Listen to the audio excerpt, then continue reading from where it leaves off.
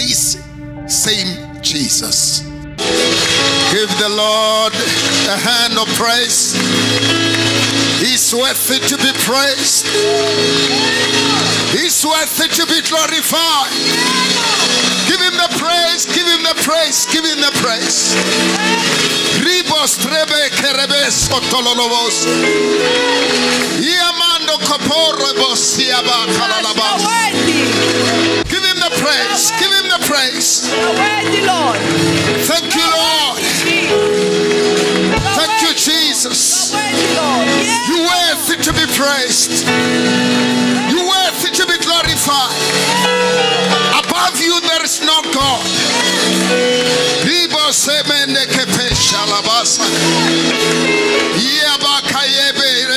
Yabaka. Kayabose. Kiababa rabose kebe shiabaka.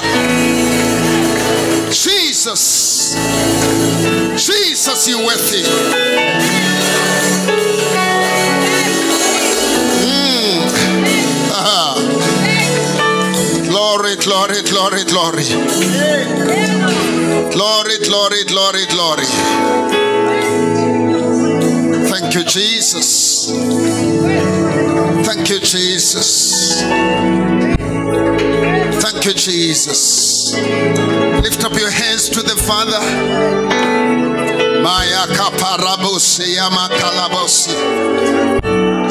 Say something before the Lord. Praise Him. Say something. Say something in praise.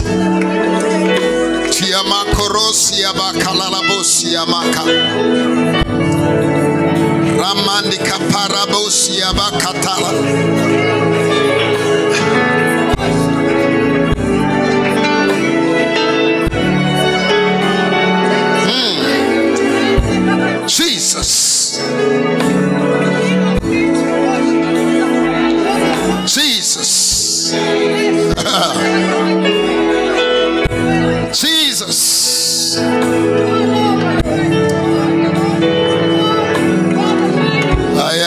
Ayakapashelobosike.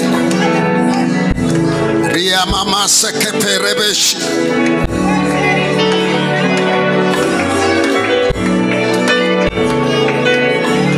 Thank you, Jesus.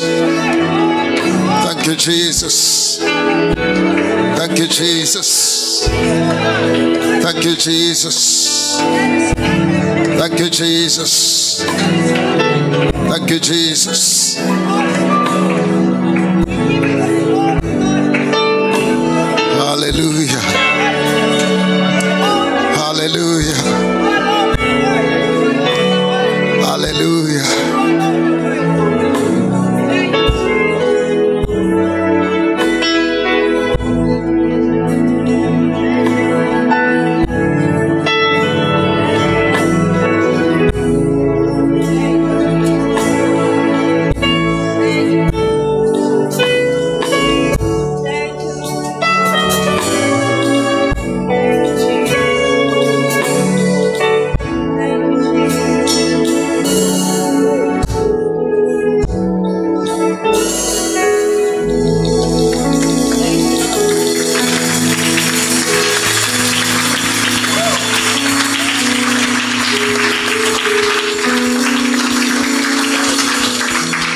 Lion of Judah,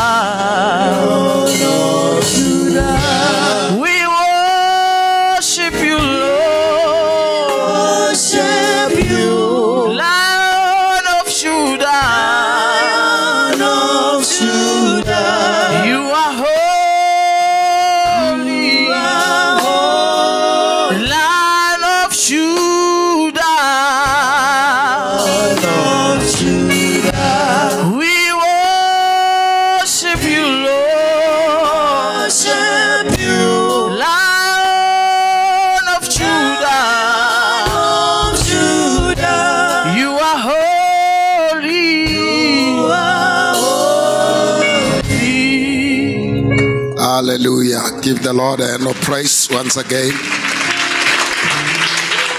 Thank you. God bless you. Let's give the team a hand. Praise the Lord. Praise the Lord. Wow, we, we want to thank God so much. You've done yourself a great, great favor by coming today. And I'm telling you, you will never regret coming to this place today. Now let's lift our hands and shout, Praise the Lord. And turn to your neighbor and shake them family, family, family. And say, You have done well by coming here today. Amen. And we want to welcome you and feel all of you in the house of the Lord. And uh, let's uh, settle down and fasten our belts. We are about to listen to God's word. How many of you know that the word of the Lord it's all what you need to change your circumstance? Amen. You, you, if we give you hands, now please listen to me. Anything that we can give you in terms of authority and power and what it can do to your life, it's lower to what the word can do. The word of God is the highest authority that is there here on earth and in the heavens.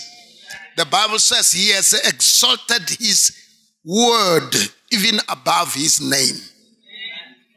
He has exalted his word even above his name, meaning that the word of the Lord is above the name of God. Do you understand what I'm talking about? So, anything that we give you other than the word, we give you something that is lesser in power. Because it was this word that created the heavens and the earth. So anything that anybody gives you other than the word is giving you something lesser in authority than the word of the living God. So when I give you the word, I'm giving you the ultimate. Say, I need the ultimate. Say, I need the ultimate. Say, I need the ultimate. So the word of God, ile park, ile park station. That's where we end. Hallelujah.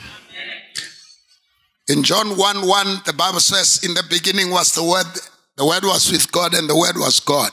I like it when it says, Nothing that which was made was not made by the Word. Nothing, nothing, absolutely nothing that which was made was not made by the Word. Hallelujah. And the other one says, Speak the Word, and my servant shall be healed. Speak the Word. It is only the word that can change your situation. Shout hallelujah. Shout praise the Lord. So I want to speak from a title that says, This same Jesus. Let us all say, This same Jesus. Let us all say, This same Jesus. Let us all say, This same Jesus. Jesus Christ is the same. He has never changed. He will never change. And he's not changing. It doesn't matter how things turn around, Jesus Christ will remain that same Jesus. Now, before we give you scriptures, I want to show you on what is it that changes. If Jesus can't change, what is it then that has changed? What is it that makes the gospel that people carry, the faith that people carry, the religion that people follow to- not to have that same power. When we read the Bible, we read of personalities in the Bible that would arrive at a sea that has closed their way from getting to the other side. And they will lift a rod according to the command of God, and the sea will just open. We will read of characters who were thrown in the den of lions, and lions could not swallow them. Read of characters that will be thrown in fire, and fire would not burn them. Read of characters in the Bible that will call on fire to come down to consume the sacrifice. And fire will listen to them. Read of both Joshua, who will be in a battle. And when they are fighting, the sun is about to go down. They realize they won't win over their enemies as long as they don't have light. And they will command the sun to stand still. And it, they will fight and fight and fight until they are satisfied that they have done all what God had commanded them to do, and they will release the sun.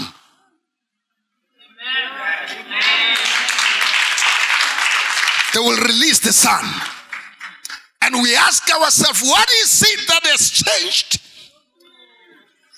in our Christianity today?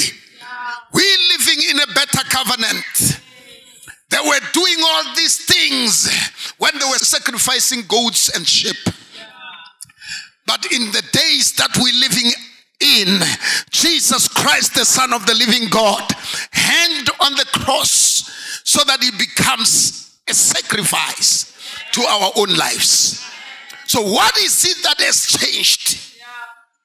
We should be operating in more power now than them. We should be operating in more unction than them, than Bo Elijah, than Bo Elisha. I mean, I'm talking about the power that would take Elijah not to see death, and he just flies into the heavens because they walked with God. When what is it that has changed? What is it that has changed? What is it that has changed? Hallelujah. Hallelujah. Hallelujah. Hallelujah. Hallelujah. Hallelujah. The children of Israel would at times win the battles that they never fought. God will at times rain down stones to fight their enemies on their behalf when they are looking. What has changed? What is it that has changed? What is it? What is it that we're not doing right? Because the Bible teaches us that if it is Jesus, He's the same. He is the same. And I want to show you some certain things that I believe will help your lives forever. Shout, Praise the Lord. Shout, Praise the Lord. Shout, Praise the Lord. Shout, Hallelujah. You know, when we do Bible study, there is what we call oral tradition. When you pass a message from one person to another or from one generation to another, it is told, even in communication, it is told that when it gets to the third person, the message is distorted. Can I repeat what I said? And, and I want you to get it so very, very clearly. The word of God does not change. Jesus does not change. But on how we hear, on how we hear, and whether we want to hear from the source or we want to hear from a third party. You, you don't hear me.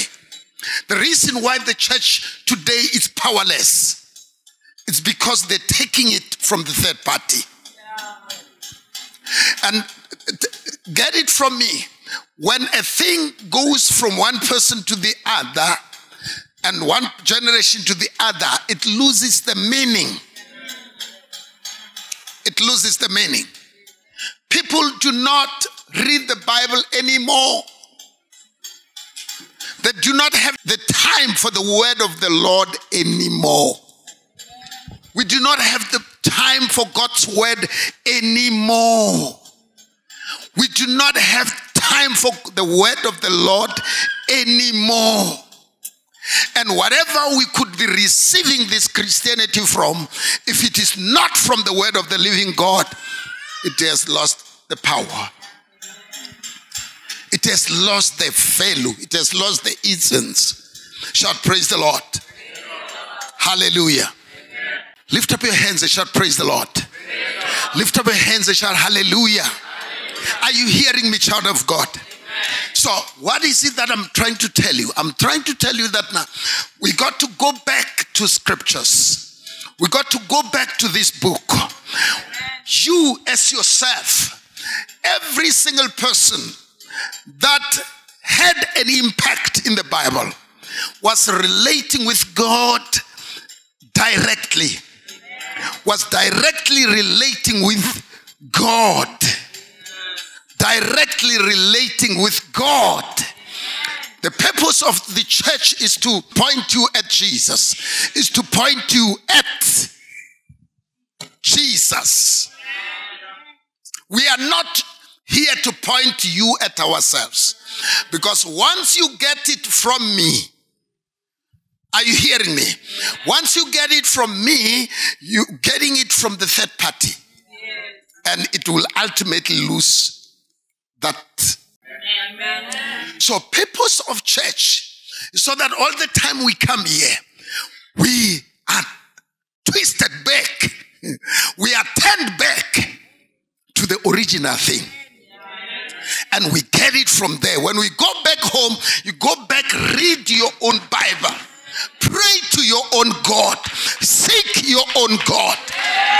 And then we will not lose that same power and that same Jesus and that same authority of the Word of God will work for you. Amen. I I don't know on how to tell you this, but anything that we can put in between you and your God is there to reduce the value, not only the value, but the power that you should experience from God.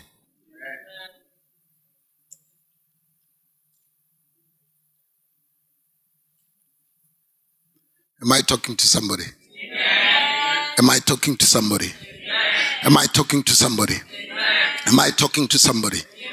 Hallelujah. And what is it that I'm trying to say to you? I'm trying to say, let's go back to basics. Let's know that the word of the Lord has all what you need. And when you stick to the word, read the word, start understand the word, the word will give you all what is necessary for your life and for the next person. Shout, praise the Lord. The word of God is enough to give you all. So, in Acts chapter number one, and I want us to read this quickly. Acts 1, verse number 11. Acts 1, verse 11. Yeah. Who also said, Men of Galilee, why do you stand gazing up into heaven? Read verse 10. Read. And while they looked steadfastly towards the heaven mm-hmm. as he went up, behold, two men stood by them in white apparel, It was angels. who also said, Men of Galilee, why do you stand gazing up into heaven? The same Jesus who was taken up from you into heaven will so come in like manner as you saw him go to heaven. This same Jesus, you know, the old King James says, this same Jesus that you see being taken into the heavens, he will come back the same way. This same Jesus. Now, Jesus doesn't have, he doesn't have tricks. He doesn't do things this way so that tomorrow he can do them this other way. He is the same. The Bible says this same Jesus. And what it actually tells you is that now we, we, we're saving that same Jesus. We, we all of us, from generation to generation, we're serving that same Jesus who is the same yesterday. Hallelujah. Because he says himself, before you were, I was. So he was there before the beginning began. He began the beginning. So there is nobody, nobody, nobody that can claim that he was not there in the Old Testament because he was born in the New Testament. The Bible says before he became flesh here in heaven, he was called the Word. Amen. He was called the Word of God. Hallelujah.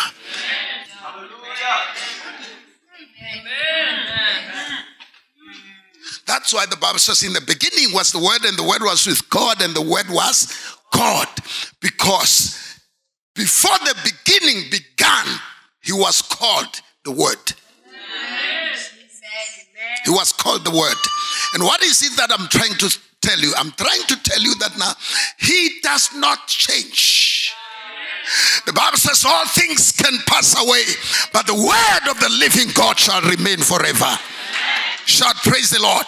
So the word of God, who is Jesus, is the same, does not change. Whatever it did to somebody else, it can as well do to you. Whatever the word of the Lord did to someone else, it can also do to you. The reason why we have the written word is so that we can see and read on the things that God did to others. And we begin to apply them to ourselves. But why is it that now it doesn't work for people? Because they do not read where those that were helped by God read from. If you read the same thing, drink the same thing, you will experience the same things. It's the same thing that you drink that will make you to experience the same thing with the one that drank it. Once we change the menu, we experience different growths we experience different things. Jesus. So the church of today does not read anymore, doesn't read the Bible anymore. It relies on second-hand information. The church of today doesn't have time for the word of God. Let's set the matter straight here. You people, you have time for social media. Daniel had time for the word of the living God. Moses had time with God. You have time with TikTok. So you'll never experience the same things. You can only experience what you eat. You can only experience from what you eat. If you spend a lot of time on social media, you'll experience what those that spend a lot of time in social media experience. Yeah. Yeah. Yeah.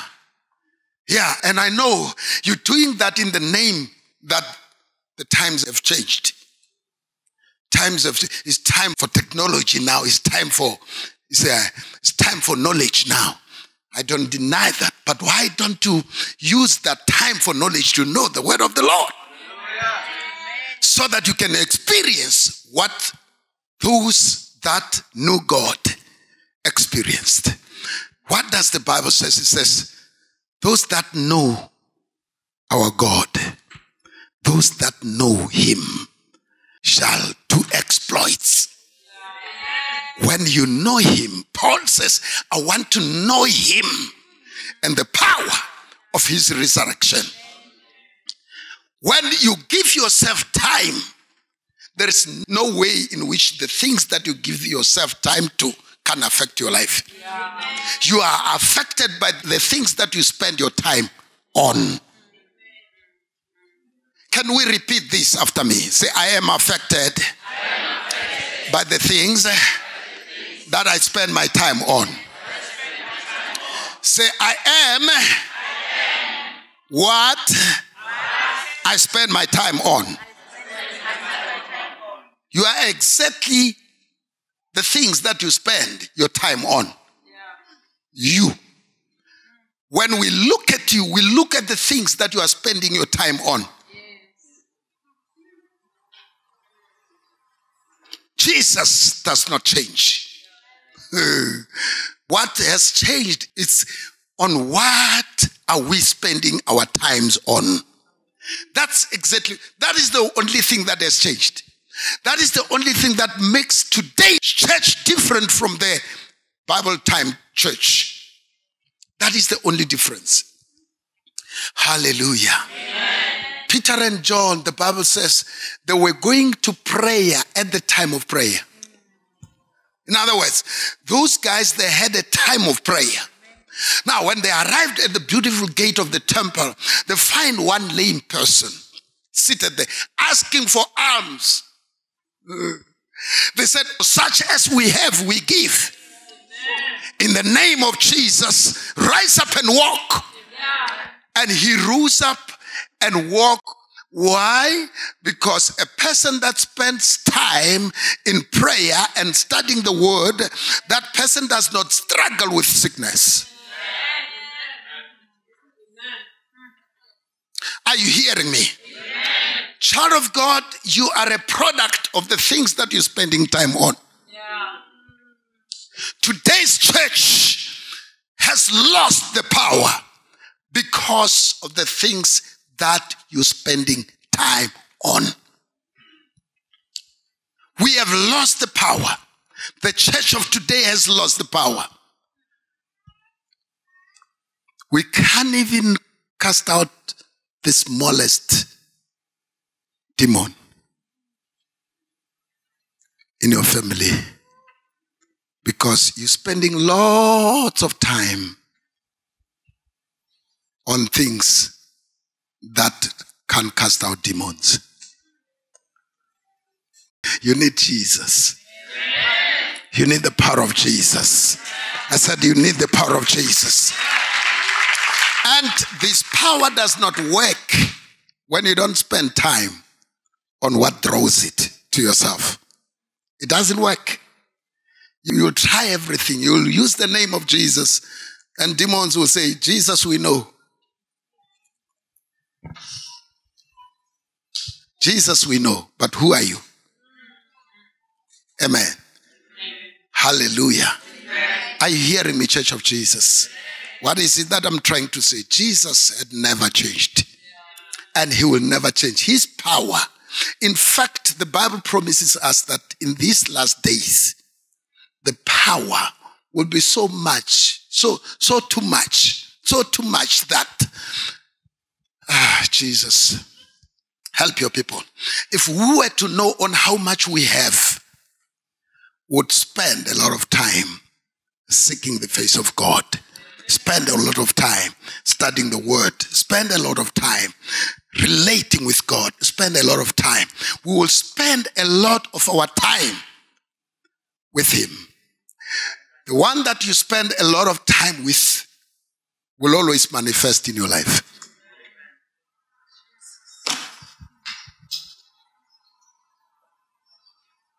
This is the last thing that I want to say to you. And I want to say it again and again. The things that you spend a lot of time with will always manifest. When trouble come, the thing that manifests is the thing that you spend a lot of time with. When challenges come, the thing that you spend a lot of time with, that's what shows up. And if it does not have power, it will leave you at the same place you have been.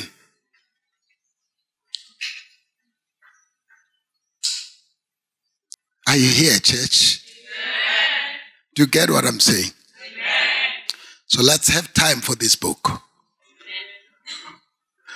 The other thing that uh, I want to say, which most of us won't agree upon, I as well have a digital Bible. But these digital Bibles that we have in our gadgets can be changed in a minute because the server to that Bible is not with you. They can be changed in a minute without you realizing. And the verses do not read in the same way they are in the original translation. So, as much as you have a digital Bible, keep this one. this one, no one can change it. Once you buy it and it's the right translation and you have it, no one can change it.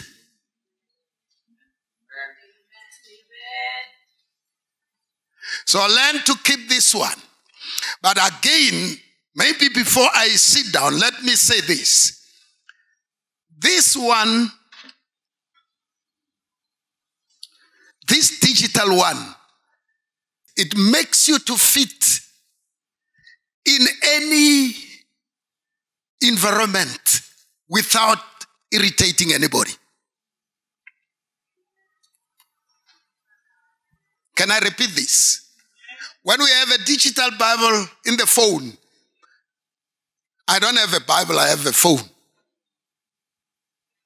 It's just the Bible in my phone, but what I have in true sense is the what? Is the phone. So I can get anywhere, do anything. Nobody will, will get irritated by my phone. But this, it's offensive. I said, this is offensive. I don't mean the book on itself. I mean, when you're holding a Bible, you are announcing to everybody, everything, every devil, every, you are, you are making an announcement that I am a student of the Bible, I am a reader of the Bible, I'm a child of God, and I'm not compromising about it. There are some of you that people do not know that you are born again, even in your workplace. Because you hold the iPhone that they hold as well.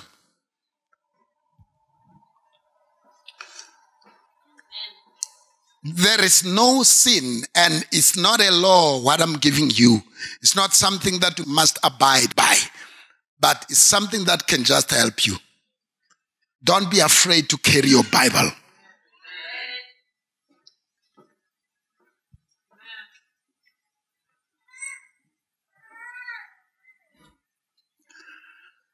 I don't want to make you lift up your Bibles because I'm born again. Lift up your hands and shout, Praise the Lord. But you understand what I'm trying to say? You, we shouldn't, even when we go to church, we shouldn't say we're going that side. Where are you going? So dressed up so nicely. Where are you going? That side. That side. That's how compromising we are as children of God. And this other religion, you know, we were blessed in the two places that we were in. We were doing church in town.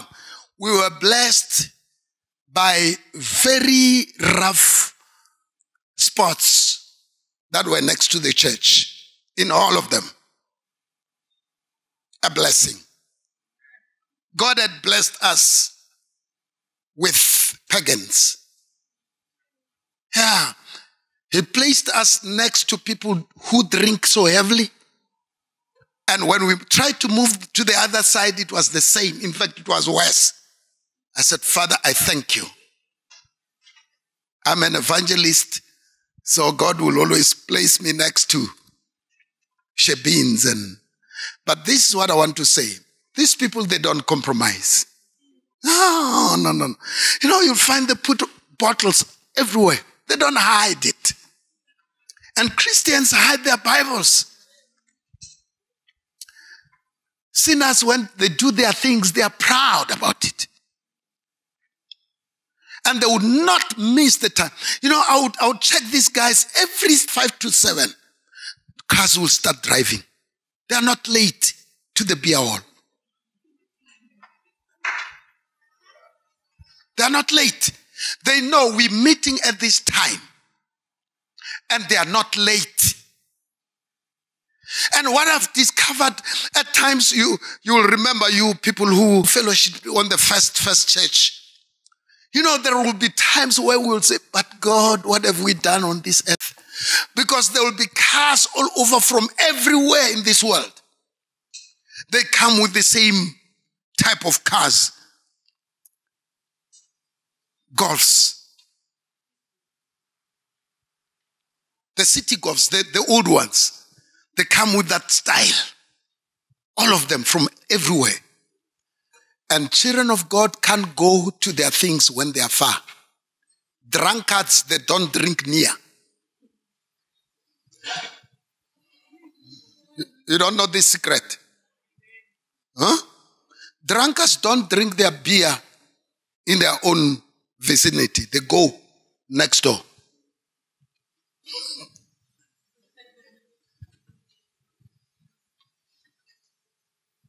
If we say we have men's meeting on Tuesday, men do not come because I went on Sunday. I can as well go on Tuesday and I can as well go on Monday. I can as well go on Wednesday and Thursday and Friday and Saturday. Huh? And you still think you'll experience the same things. That what Daniel, who were every day at a particular time, will open the windows into Jerusalem and pray. And you wonder why he does not get consumed by the lions. Because the commitment of a child of God unto the things of God will determine the level at which you operate in the power of the things you are committed to. Amen. Amen.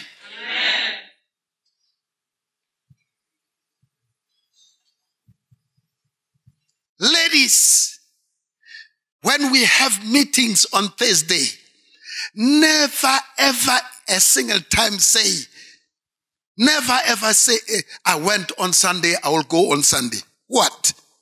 Are you a Sunday Christian?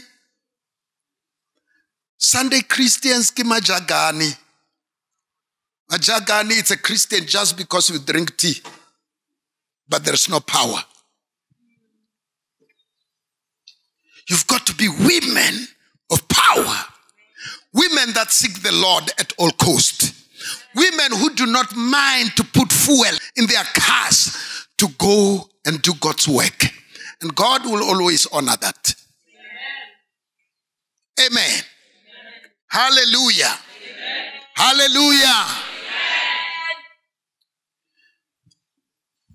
Amen. Amen. So let's be engaged.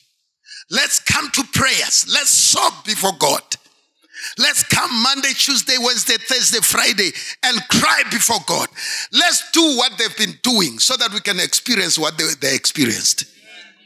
Let's do what they did so that we can experience what they experienced. You can't expect to experience what they experienced when you are not doing what they did. Are you hearing me? Daniel prayed every day. Peter prayed every day. John prayed every day. Elijah prayed every day. Jesus prayed every day. We have to pray every day. Prayer is not only for January, please.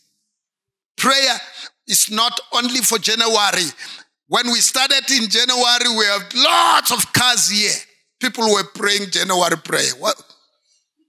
Prayer is an everyday thing. In, in January, we can intensify. Fast and do all these things, but prayer is an everyday thing. Like you breathe every day, you must pray every day. Like you eat porridge every day, you must pray and read the word daily. Then the power of Jesus will begin to flow in your life and you'll experience the same things that all what did what you are doing experienced in Bible times. I'm done.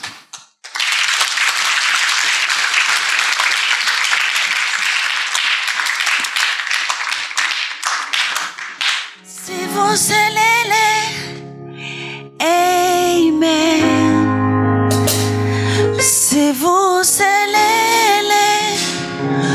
Gosto Jésus. Si vous Let's come and give. Let's come and give. Si vous allez, gosto Jésus. Si vous